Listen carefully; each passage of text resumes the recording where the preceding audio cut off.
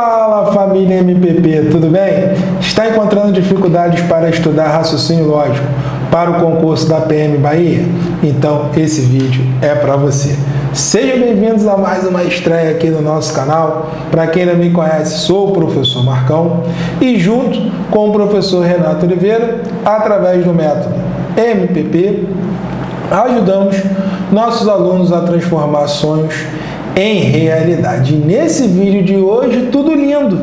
Olha aí na telinha. Raciocínio lógico para a PM Bahia, revisão final. Repete aí na sua casa, para cima deles e não deixe o inimigo agir. Tá aqui, ó. Juntos conseguiremos essa vaga. Juntos somos mais fortes, beleza? Mas antes de começarmos aí a quebrar as questões, vamos trocar uma ideia. Na descrição do vídeo, em algum lugar aqui embaixo, baixe o material da aula, beleza? Então, na descrição do vídeo, em algum lugar aqui embaixo, baixe o material da aula. E caso você ainda não esteja inscrito em nosso canal, inscreva-se em nosso canal e ative as notificações, o famoso sininho. Ativando as notificações, sempre que rolar uma publicação, vai chegar o vídeo para você. Beleza? E agora vamos ao nosso combustível. Vamos a mais um depoimento de um membro da família MPP. Eu preciso compartilhar isso com vocês. Vamos lá. Meu nome é Jaqueline Félix. Fiz o concurso para minha cidade, estudando pelo Matemática para passar. E acertei 12 questões de 15 na minha prova. Fiquei feliz e agradeço muito a vocês, pois sei que se não tivesse encontrado o seu canal, não teria acertado tantas questões. Parabéns pelo belo trabalho que realizam. Jaqueline de Oliveira Félix. Jaqueline, muito obrigado pelo seu depoimento. Então, pessoal, esse é o nosso combustível, é isso que faz a gente estar aqui todos os dias trabalhando, sempre pensando em vocês. Né? Se nós não estivéssemos vivenciando isso diariamente, com certeza né, nós já não estaríamos mais aqui, já teria acabado há muito tempo o matemática para passar. Por quê? Antes do dinheiro vem as pessoas. Antes do dinheiro, você é o mais importante para a gente. É o seu resultado. Quando você chega aqui e coloca um depoimento e a gente visualiza né, e vê que aconteceu, que nós queríamos, né, aconteceu, o resultado aconteceu, cara, isso não tem preço. É, e isso é diariamente, e eu tenho certeza que domingo, domingo, você vai arrebentar e você vai mandar muito bem nessa prova da PM Bahia. Legal? Então, pessoal, para começar a nossa revisão, olha aí, ó, caneta e papel na mão, energia lá em cima e simbora, pessoal. Vamos lá, agora é de verdade. Tá aqui as nossas redes sociais. Trocamos likes e seguimos de volta. Vai lá no meu Instagram, Marcão MPP. E agora, pessoal, tá aí a nossa primeira questão. Pessoal, vamos trocar uma ideia. Vamos lá. Essa aulinha de hoje é uma aulinha de revisão para o concurso da PM Bahia, que vai acontecer no domingo. Legal? E o que, que o tio Marcão fez? Né? Dei uma olhada nas provas né, mais recentes da IBFC e, cara, e vi os assuntos mais importantes e fiz esse aulão de revisão. Nessa primeira questão, qual foi o assunto que eu coloquei para vocês? Porcentagem, pessoal. Cara, estude porcentagem. Isso vai cair na tua prova de uma forma direta ou indireta. Porque às vezes você está numa questão, por exemplo, num probleminha de conjuntos, que você precisa de uma noção básica de porcentagem. Então, pessoal, em, em algum momento você vai usar a porcentagem. Então, quer um tema certeiro na tua prova? Já anota aí, porcentagem. Vamos lá. Primeira questãozinha, para cima deles. Olha aí. Em uma fábrica trabalham 40 homens e 20 mulheres. Do total de homens, 80 não leem o jornal todos os dias. Todo dia. Do total de mulheres, 50% leem o jornal todo dia. Então, olha a pergunta. IPC, importante pra caramba. Então, o percentual de pessoas que leem o jornal todo dia nessa empresa é. Então, pessoal, o que, ele está perguntando para gente? O percentual de pessoas que leem o jornal todos os dias. Beleza. Para matar essa questão, vamos utilizar a técnica da árvore. Ou seja, quando o probleminha de porcentagem tem muita informação, a gente cria um esqueminha da árvore. Ou seja, a gente vai organizando um probleminha como se esse probleminha fosse uma árvore. Como é que funciona isso, Marcão? Vamos lá. Primeira coisa é você pegar o total de pessoas. Então, quantas pessoas trabalham nessa fábrica? Pô, Marcão, é só somar. 40 mais 20. Lindo. Quanto é que dá 40 mais 20? 60. Então, o total de pessoas que trabalham nessa fábrica seria quanto? 60. Beleza. Aí desses 60 eu já vou ramificar, né? Quantos são homens e quantos são as mulheres.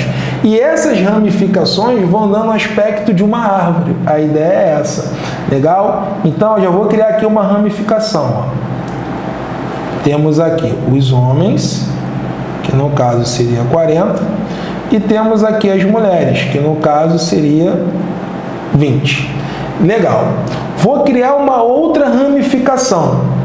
Qual seria a outra ramificação, pessoal? Homens que leem o jornal todo dia e, e homens que não leem o jornal todos os dias. A outra seria mulheres que leem o jornal todo dia e mulheres que não leem o jornal todo dia. Beleza? Então vou criar aqui uma outra ramificação. Ó. Ó, homens que leem o jornal todo dia e homens que não leem o jornal todo dia. Beleza. Como eu tenho toque, eu vou melhorar isso daqui. Como eu tenho toque, eu vou melhorar isso daqui. Então vamos lá, mais uma ramificaçãozinha aqui, ó. Homens que leem o jornal e homens que não leem o jornal. As mulheres, a mesma coisa. Mulheres que leem o jornal e homens que não leem o jornal. Beleza. Voltando lá no texto, ele fala o seguinte: que 80% dos homens não leem. Mas o que interessa para a gente seriam os homens que leem o jornal. Então, se 80%, acompanha o raciocínio, se 80% não leem o jornal, pergunta aos senhores: qual é o percentual de homens que leem o jornal? Coloca aí no bate-papo para mim. Coloca aí, deixa eu sair daqui porque vai cortar. Se 80% não leem o jornal, qual é o percentual que leem? Pô, Marcão, muito simples. Se 80 não leem, 20 leem o jornal. Então, 20% de quanto? De 40. Já vamos fazer esse cálculo aqui. Quanto é que dá 20% de 40? Acha 10%. Quem tem 10 tem tudo. Repete aí na sua casa. Coloca aí no bate-papo. Quem tem 10 tem tudo. Quanto dá 10% de 40? Volta uma casa. 10% de 40 dá 4. Se 10% vale 4, 20% é o dobro. Então 20% de 40 vai dar quanto? 8. Beleza? 20% de 40 vai dar quanto? 8. Legal. Aí ele fala das mulheres, que 50% das mulheres leem o jornal todo dia. Então já é o que a gente quer. 50% de quanto? De 20. 50% de alguma coisa é a metade. Já grava isso aí na sua cabeça. Então, 50% de 20 vai dar 10. Qual é a metade de 20? 10. Aí, pessoal, um abraço. questão está morta. Quantas pessoas leem o jornal nessa fábrica? É. Vai ser 10 mais 8. Não é isso? Total de pessoas que leem o jornal nessa fábrica vai ser dado por essa continha. 10 mais 8. Então, 18 pessoas leem o jornal todo dia nessa fábrica. Só que ele quer esse valor em porcentagem. Ele quer o 18 em porcentagem. 18 pessoas não é a mesma coisa que 18%. Né? Para achar o valor em porcentagem, eu tenho que fazer a regrinha de 3. Ó. Qual é o total de pessoas na fábrica? 60. Aí vamos lá, o total vale sempre quanto? 100%, não é isso? Então, 60 está para 100% e 18 vai estar para quanto? Para X. Regrinha de 3 simples com porcentagem, cruza. Vai ficar 60x igual a 1.800 eu sofro de uma doença, que é o mal de Corson. 60 está multiplicando, vai passar para o outro lado dividindo. Já vou passar o facão aqui, ó, mal de Corson. Lá, passei o facão. 180 dividido por 6 vai dar quanto? 30. 30 o quê? Por cento. Então, 18 pessoas equivale a 30% dos funcionários dessa fábrica. Vamos lá marcar o V da vitória? Gabarito, letra bravo, letra B de bola. Beleza? Então o assunto dessa primeira questão que eu peço aí que você estude, né, dê uma atenção maior a esse assunto, é porcentagem. Beleza? Da porcentagem, pessoal, passamos para a probabilidade. É dois asteriscos, né? Falou em probabilidade, coloca dois asteriscos, com certeza vai cair na tua prova. Vamos lá. Olha aí, pessoal, questãozinha de probabilidade. Admita que um estojo contenha cinco canetas, sendo duas azuis, duas vermelhas e uma preta. Retirando desse estojo duas canetas, aleatoriamente sem reposição, a probabilidade de pelo menos uma delas ser vermelha é igual, aí entra o método MPP. Olha aí o pelo menos, pessoal. Bizu, macete, método MPP. Pelo menos uma ser vermelha.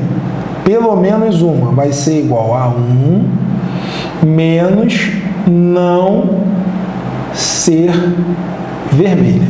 Então, pessoal, vamos lá, anota isso aí porque é mega importante. Apareceu na tua prova pelo menos um. O que, que já tem que vir na tua cabeça? Essa formulazinha. Pelo menos uma ser vermelha. Vai ser um menos não ser vermelha.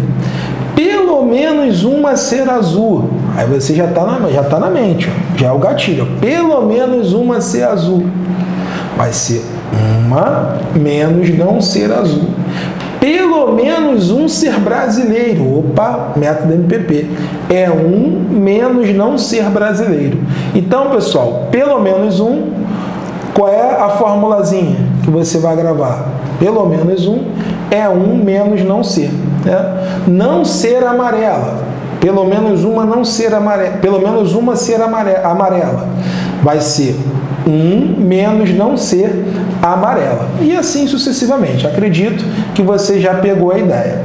Então, pessoal, quando eu falo não ser vermelha, ó, vamos lá, probabilidade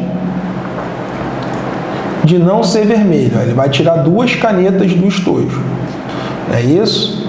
Qual é a probabilidade dela não ser vermelha? Bom, ela não ser vermelha, Marcão, ela pode ser azul, ou preta. Sim ou não?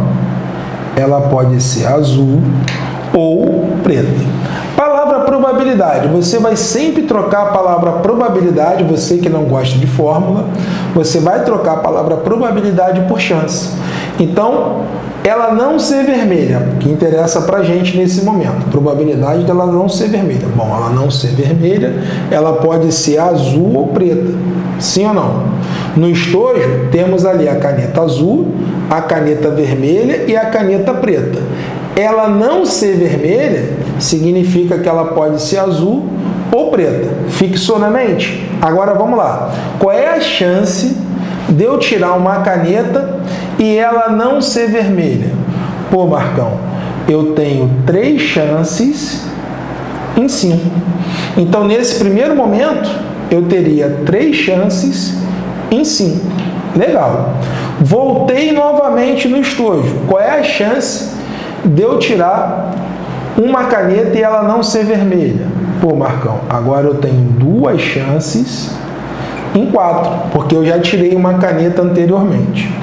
Como o princípio é multiplicativo, eu vou multiplicar aqui esses caras.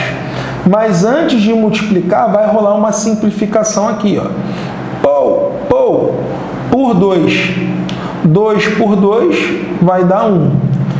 4 por 2 vai dar 2. Arrumando a bagunça, 3 vezes 1 vai dar 3 e 5 vezes 1 vai dar 10. Resumindo a história, a probabilidade dela não ser vermelha é 3 décimos, que é a mesma coisa que 0,3.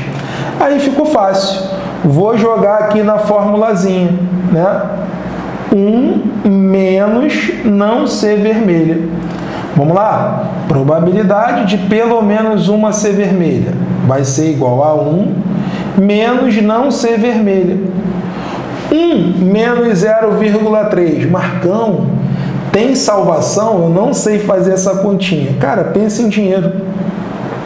Quando trabalhar com decimal, pense em dinheiro. Um real, um real menos 30 centavos vai dar 70 centavos que é a mesma coisa que 0,7. Olhando lá as opções, gabarito, letra D de dado.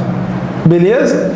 Então, pessoal, pelo menos um é um menos não ser. Qual é a explicação para isso? Vamos lá. O 1, ele representa a totalidade. Quando falamos em probabilidade, o 1 ele representa 100% a totalidade. Então pensa comigo, ó, eu estou querendo né, a caneta vermelha, pelo menos uma vermelha, eu estou querendo a vermelha. Raciocina. Se eu pegar o total e tirar as bolas, as bolas, olha, as canetas que não são vermelhas, o que, que sobra para gente? As vermelhas. Então, quando eu faço um menos não ser vermelha, na verdade, o que sobra para a gente são as canetas vermelhas. Legal? Ficou claro isso daí para você? Então, pessoal, simbora para a próxima questão.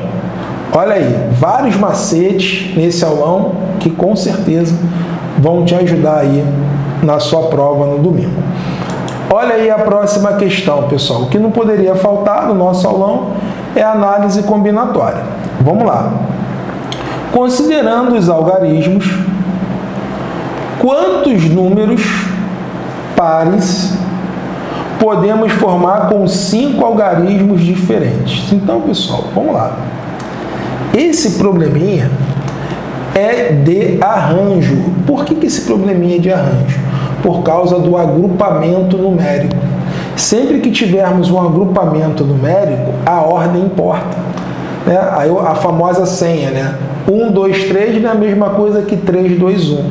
Então, agrupamentos numéricos, né? formação de números, placas de automóveis, números de telefones, senhas, códigos, tudo relacionado a isso, né? a ordem importa. Ou seja, é um probleminha de arranjo. Só que a gente não utiliza para resolver esses problemas, esses probleminhas, a formulazinha do arranjo. Nós utilizamos né, a técnica da contagem, o princípio da contagem. E o que, que seria o princípio da contagem, Marcão? O princípio da contagem nada mais é que um princípio multiplicativo, caneta e papel na mão, onde multiplicamos IPC, importante pra caramba, onde multiplicamos as possibilidades de cada etapa do problema. Então vamos lá. Quantas etapas? Cinco. Porque esse número tem cinco algarismos. Então vamos lá. Um, dois, três, quatro, cinco. Tem cinco algarismos. Tá aqui, ó.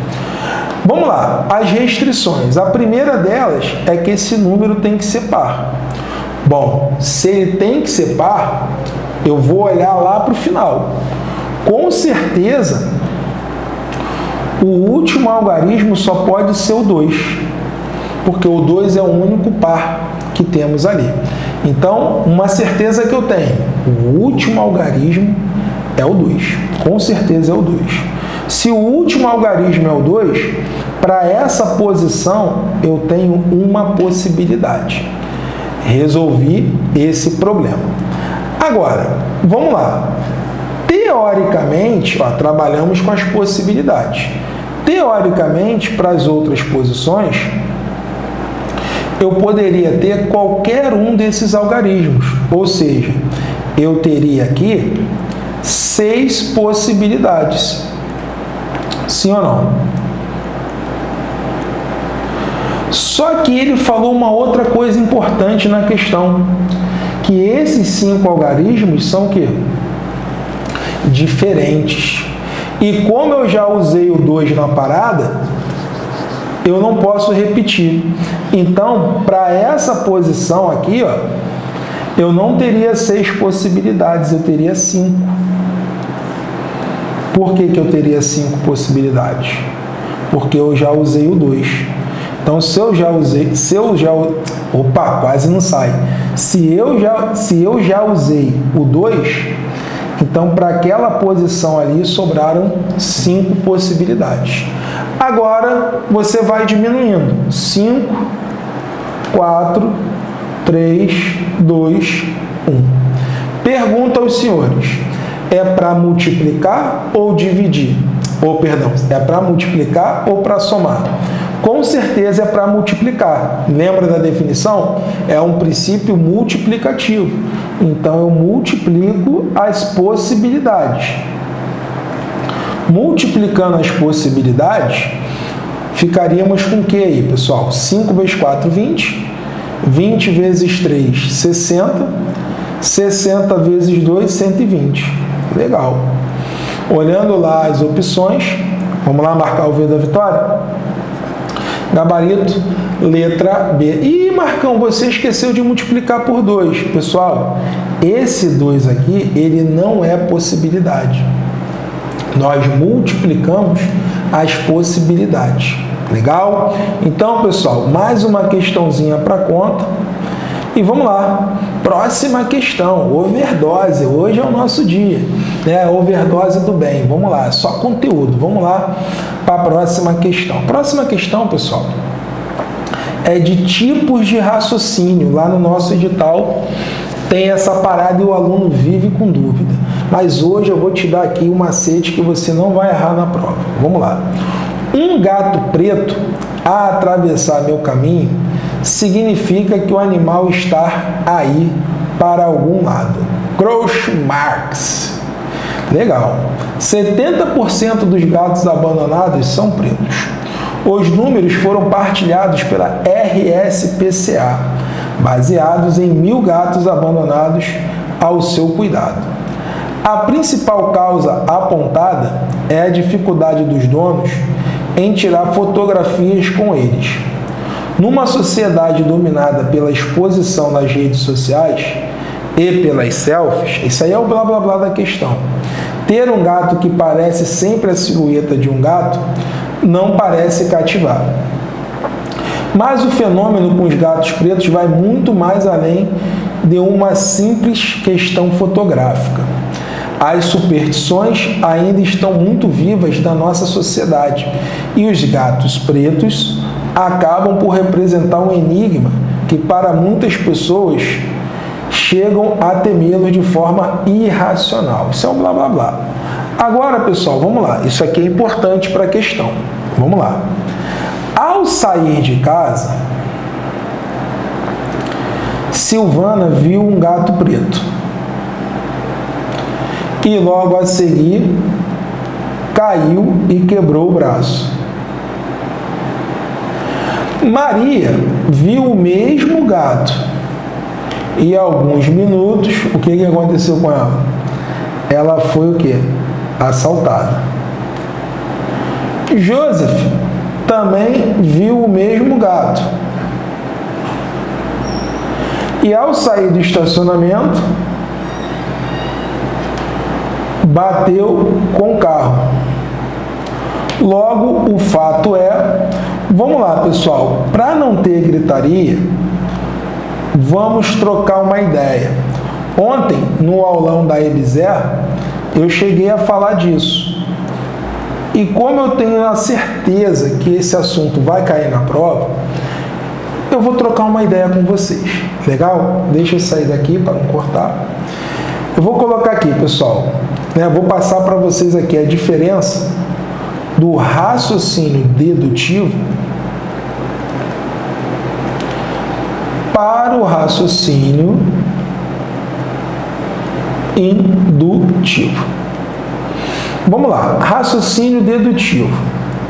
Raciocínio dedutivo, a gente vai do caso geral, de um caso geral para um caso o que? Particular. O indutivo já é o contrário, a gente vai de casos particulares, né? a gente vai do particular para um caso que geral. Exemplo, vamos lá.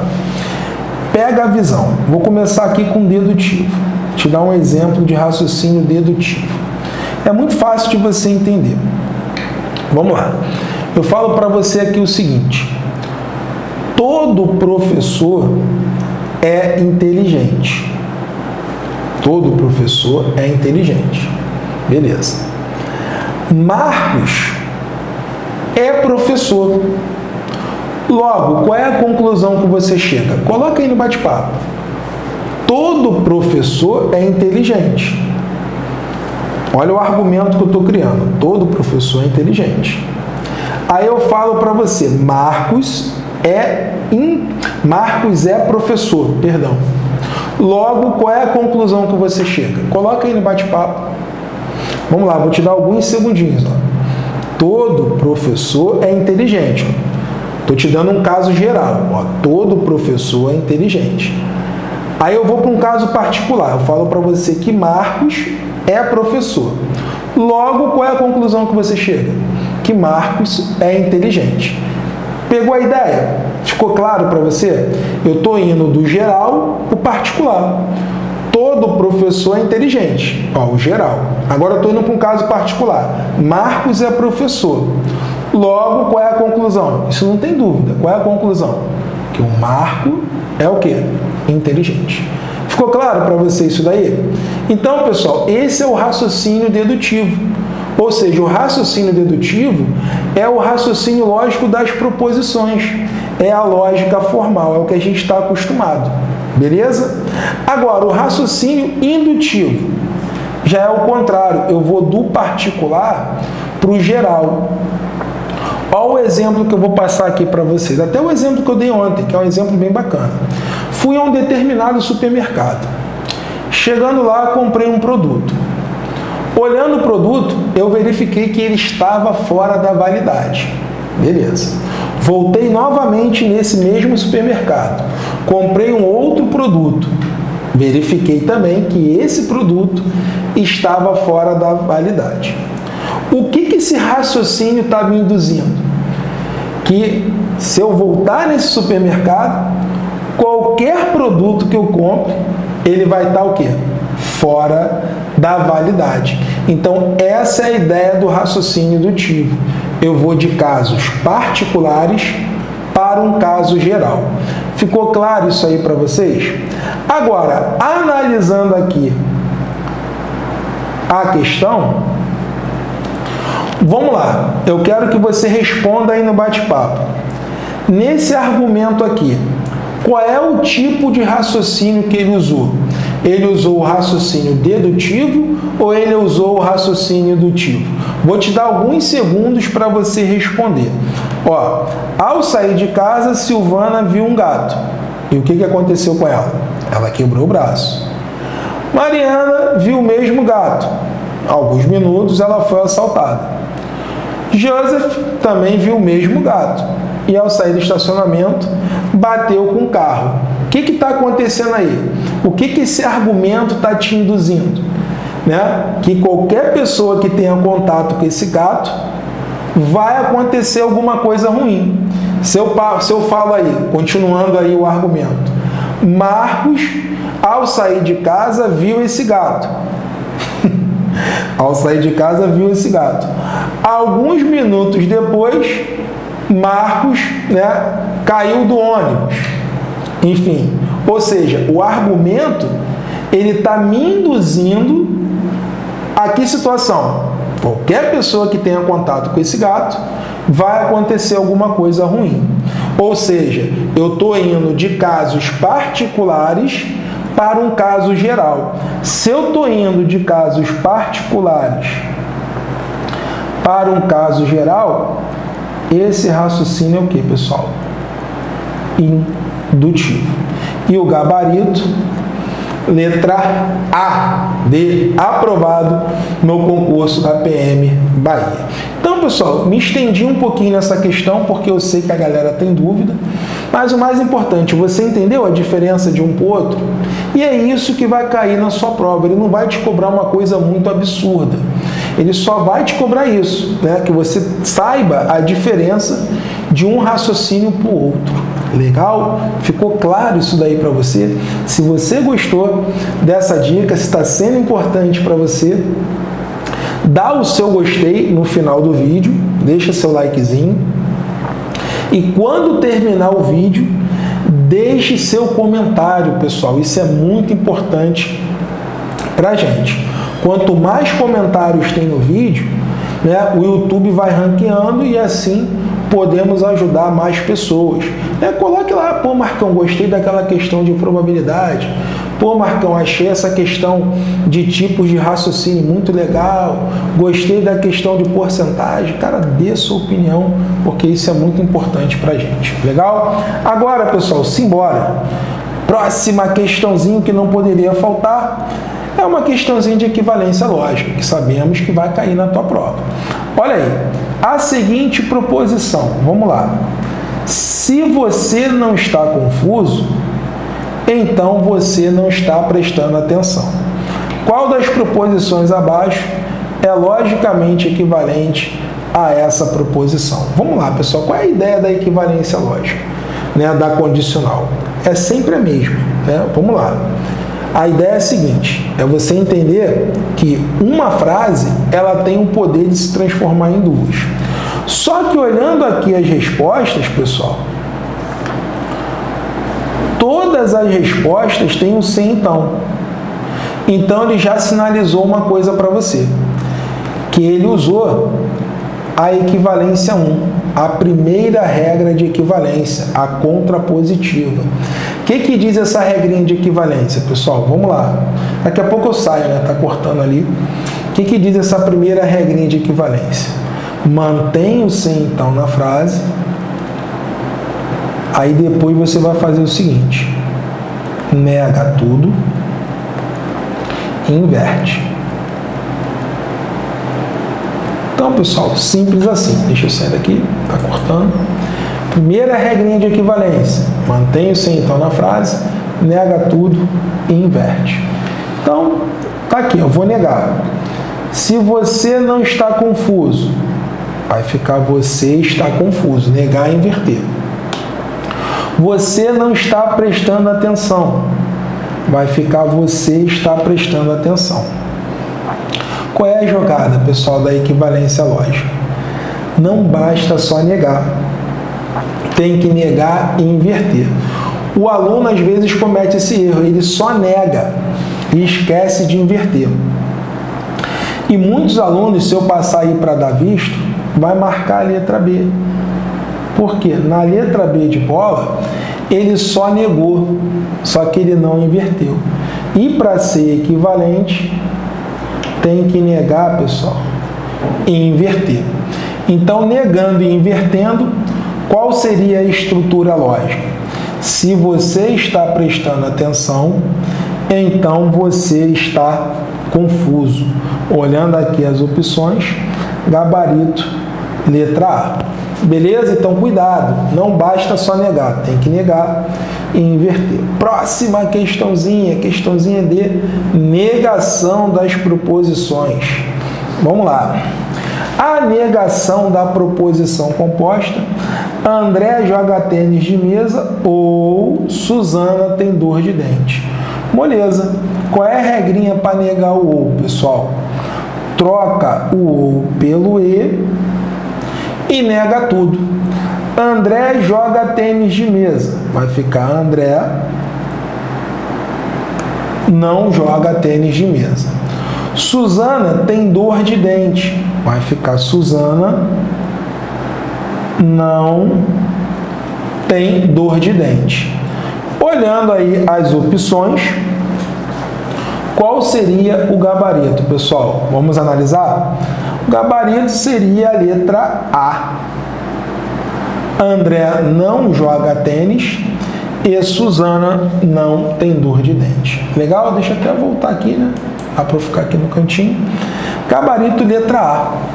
E vamos lá, mais uma para conta. Questãozinha de tabela verdade, que sempre cai. Olha aí. Considere as afirmações. Ana é brasileira ou Bruno é venezuelano? 2.